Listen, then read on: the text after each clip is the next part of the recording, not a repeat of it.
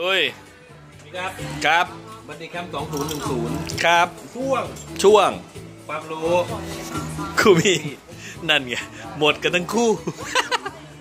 จ้าอะความรู้ผู้มีดครับ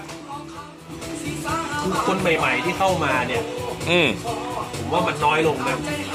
หมายถึงอะไรวะสนใจลูกค้าใหม่ที่ๆที่สนใจเรื่องมีดอ่าสนใจแล้วมีดอ่านี่ยอด น้อยลงอ่ามันน้อยลงเยอะเลยเออแสดงว่าไอ้คนที่อยู่ปัจจุบันเนี่ยอืมตัวละอืมไม่ได้มีเยอะอะไรมากกว่านี้ อืมนะครับทำไมวะพี่พูดเลยเถอะเออะทีนี้มาดูไอ้ความรู้ผู้มีดตับที่เราจะนำเสนอต่อไปนี้เนี่ยนั่นไงเออนะครับเผื่อมันจะมีประโยชน์บ้าง เผื่อมันจะทำให้เราขายได้บ้างทำให้เราขายได้บ้างนะครับยอดขายมันก็ลดลง ด้วยพี่ผมยังขายดีอยู่สม่ำเสมอร่ำรวย ขอให้โชคดีแต่ยุคนี้ก็ยุคนี้นะครับ มันก็ไม่ค่อยมีอะไรแน่นอนไม่มีรังนะอะสำหรับนักเลงมีดครับผมที่เพิ่งเข้ามาในวงการแล้วกันครับผม จะมีมีดอยู่ยี่ห้อหนึ่งคือยี่ห้อบักบักครับผมมันมีมาตั้งนานแล้วไอ้คุณไอ้ยคุณพูดยี่ห้อบักเอาเอาสักกล่องนี้เอามาสักกล่องนี้จะได้เห็นรูปร่างหน้าตาของลาก้าเขาหน่อยเอามาสักกล่องอ่านี่โลโก้เป็นอย่างนี้ เราจะมาเจาะลึกกัน อ่า โลโก้มันคืออย่างนี้ครับผม knife Buck knife มันเป็นมีดยี่ห้อแบรนด์อเมริกาไม่ไม่ไม่ได้มาจากอีสานยังไม่บักไหนบอบอบอโอแมนเนาะ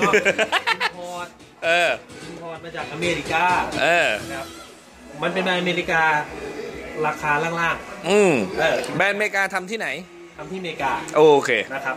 บักมันจะมีรุ่นที่ทำที่อเมริกากับทำที่จีน อ่าอะไอ้ ทำที่จีนก็บ้านเราก็ไม่ค่อยนิยมกันนะอืมยิ่งเกลียดเกลียดเกลียดไม่ดีอืมอืมอะเอารุ่นที่เขาสะสมที่เขาเล่นกัน อืมที่เปิดรุ่นนี้มารุ่นพ่อก็รู้จักอืม อาก็รู้จัก อืมก็คงยังเล่นต่อไปเพราะว่ามันมีดทรงคลาสสิกอะอืมคือบัคศูนย์หนึ่งหนึ่งศูนย์อืมบางคนเรียกแค่หนึ่งหนึ่งศูนย์อ่าตอนนี้เราจะย้อนอดีตกลับไปเมื่อตอนถ่ายคลิปแรกนั่งทำแมชชีนกันไปเลยฟรีๆสี่สี่ห้าปีที่แล้วที่ถ่ายคลิปแบบเออที่นี้แหละ ที่ยืนยิ้มยิ้มๆอะเออ คล้ายๆกันเออเดียวกัน แต่ตอนนั้นแต่แต่แต่ตอนนั้นตอนถ่ายดีเบียร์ยังไม่กินไงยังยังยังแต่ตอนนี้ไงสติยังไม่เหลือแล้วอะมันเป็นมีดไม่มีอะไรเลยมันเป็นมีดพับธรรมดานี่แหละครับผมถ้ามันเป็นไม้ของทองเหลืองครับผม แล้วก็มีมีเป็นเหล็กเขาเรียกผมเรียกเหล็กมีเมสแตนเลสอ่าผมเรียกแทนมีดแล้วกันเรียกว่าเหล็กอ่าอ่ามันเป็น 420 HC อ่าเป็นสแตนเลสกลุ่มอ่าล่างนะครับอืมประกงประกับเป็นแบ็คล็อกอืมีมหมุดทองเหลืองด้ามไม้ อลังการนี่พี่ทำไมมันไม่เงา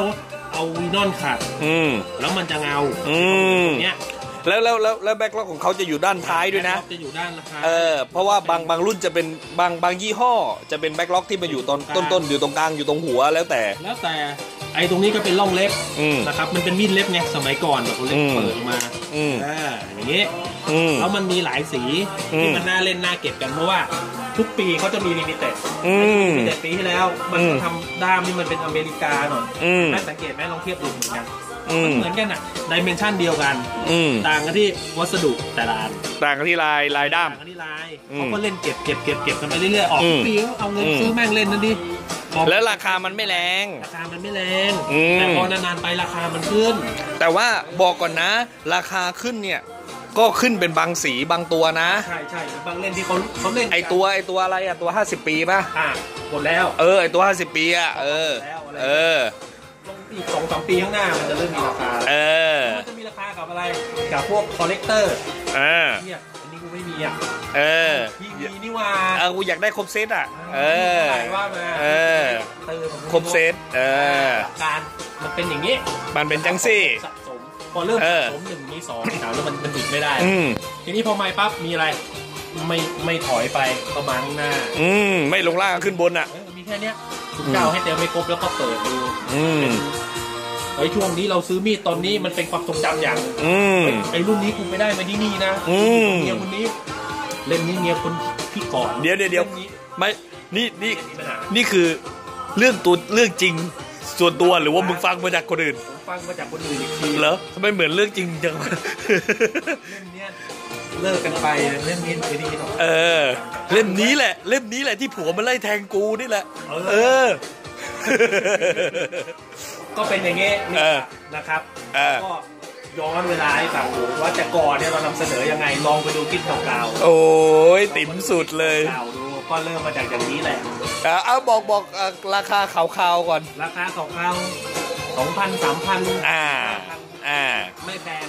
ครับไม่ผแพม งเท่าไหร่อ่า หาง่ายในท้องตลาดอืม แต่ตอนนี้มันจะมีครบรุ่นครบไซส์หรือเปล่าก็หลายๆ คนก็ก็ไม่สต็อกเนาะเออเหมือน กันเราก็ไม่สต็อกเออ มีก็ขายไม่มีก็บ๊ายบายเออฮะครับ